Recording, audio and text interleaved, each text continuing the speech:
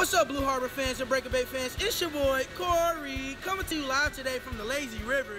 I'm here with Eugene, Dir- Director of Water Park Operations. Eugene, how you feeling today? I'm feeling lazy. Me too, Eugene. Now, I'm gonna just ask you a few questions while we drift away. Eugene, what separates Breaker Bay from the competition? We're definitely one of the best water parks on the shores of Lake Michigan and eastern Wisconsin. Now, you heard it here from Eugene. Eugene, out of all these beautiful attractions, what is your favorite?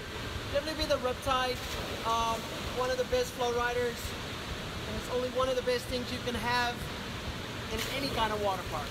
now you heard it here any kind of water park.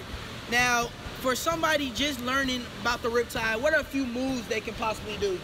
Well, there's so many to mention, but a couple is definitely knees, drop knee, 360, barrel roll, turtle, Superman. Ah. and many more.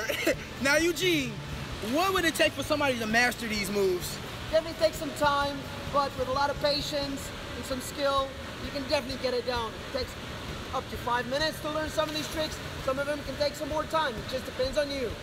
Now, maybe I can master it one day. Now, Eugene, last question. Why should people even uh, come to Breaker Bay? What should they know about Breaker Bay that makes it so special? It's always 84 degrees inside. It's so amazing. wow, you heard it here from Eugene, direct, Director of Water Park Operations. Now, we finna check out. We got some more drifting to do. See you guys later. Bye. Eugene, Director of Op- uh, the Operations Director. Eugene, what is your favorite? Definitely going to be Riptide, the Flow Rider. We have the only one on the short lane. Uh, short. Ah. Now you heard it live from Director of Operations of. edit. We gonna edit.